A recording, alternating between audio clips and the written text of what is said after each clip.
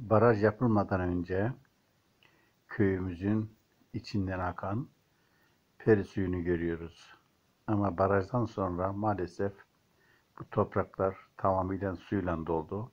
Bütün tarım arazileri ve yabani bitkiler, hayvanlar hepsinin doğasını yok ettik. El birliğiyle. Şimdilerde ise karşı köylerdeki akrabalarımızla cenazeler olsun, düğünlerde olsun bir araya gelemiyoruz. Gelememiz için de herhangi bir köprü yok.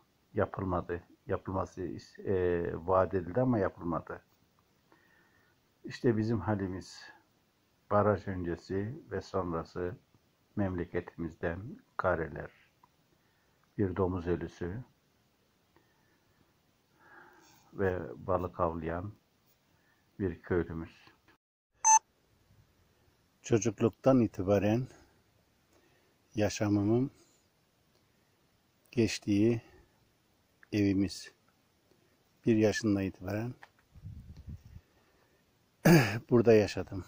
Ta evleninceye kadar. Yani 61'den 79'a kadar bir fiil burada yaşadık. Aradan iki hatta dört yılı çıkarırsak çünkü o dört yıl Antalya'da geçti. Evet. Şurada benim odamdı. Ben kalıyordum.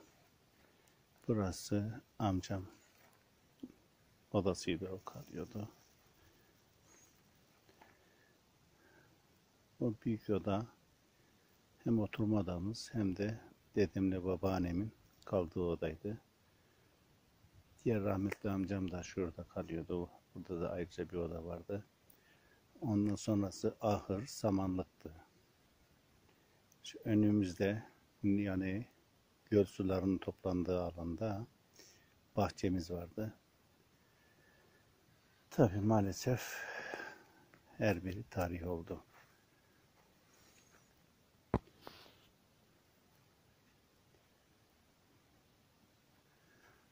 Şurada da bir komşumuz vardı. Mehmet Ali amcanın evi.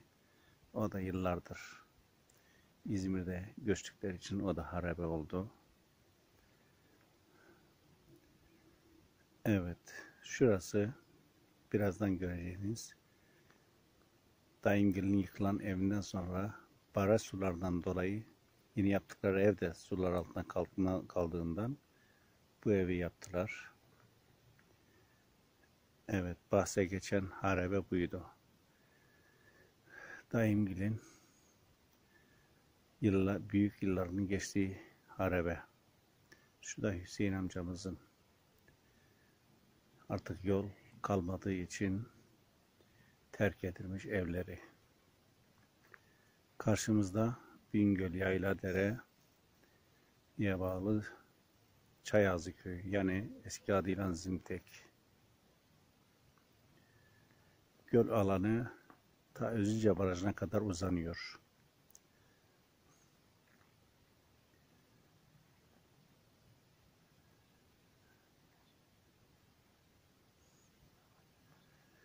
İşte bizim gençlik hikayemizin geçtiği coğrafyadan bir toprak parçası.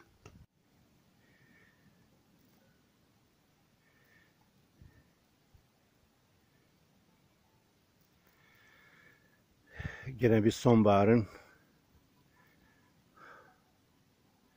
güzelliği.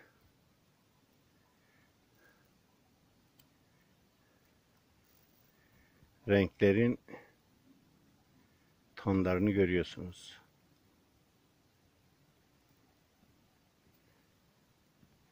Ağaçlar artık yavaş yavaş yapraklarını dökmek üzere.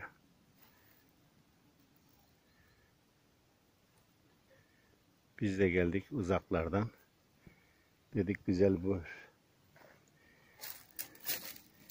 fotoğraf ve videolarla bu anı paylaşalım herkesle.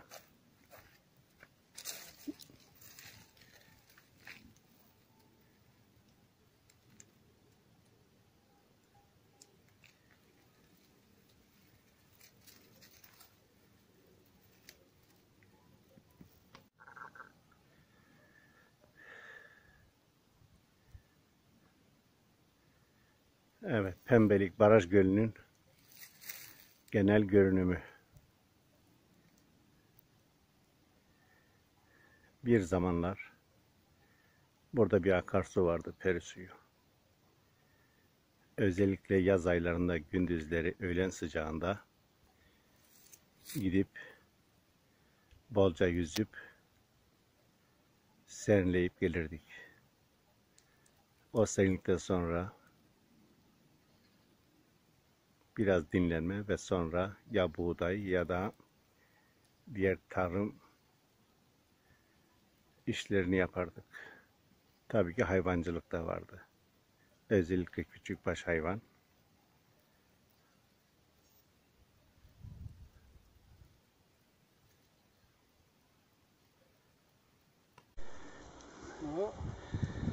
Evet Ali abi artık bostanı tarafta söküyoruz. Gereken verimi aldık bu sene. Allah bereket versin. he Bol bol yedik, kuruttuk.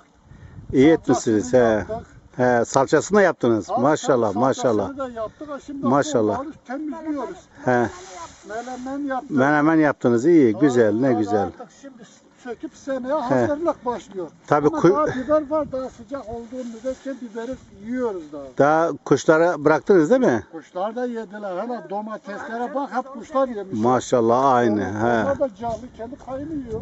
Aynı bizimki de aynı bizimki de aynı. He. Kuşları ya, tabii imanı kuşları. Evet.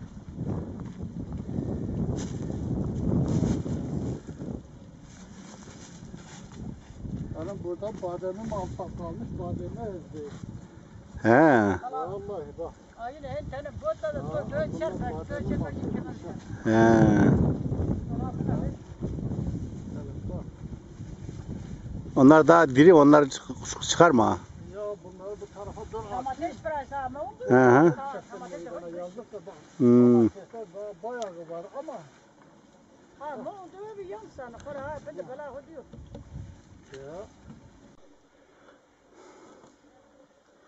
Evet meşe palamudu.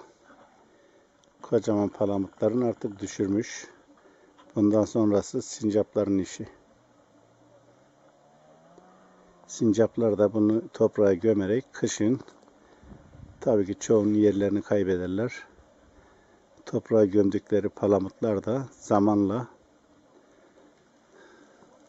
ağaca dönüşecek.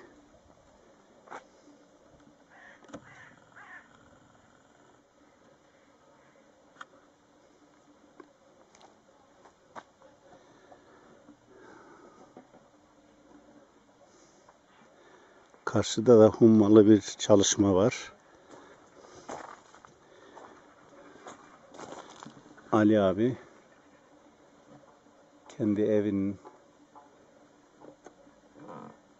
arkasına istinat duvarı çekiyor. Ama ne duvar? En azından 5-6 metre yüksekliğinde.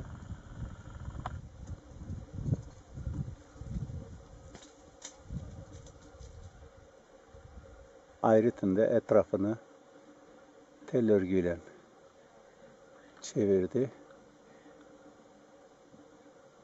Bize de sağlıkla oturmasını nasip eylesin diyelim.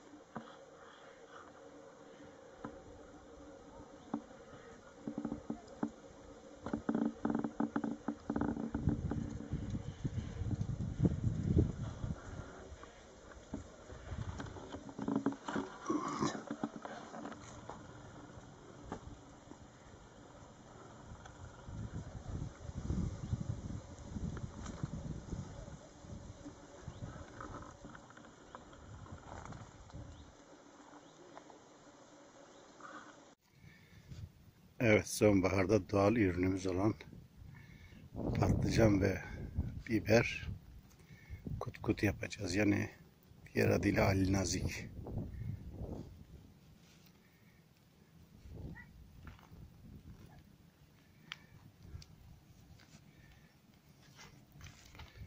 Burada da sobamızda ateş yakıyoruz. Közlenince aktarıyoruz mangalları.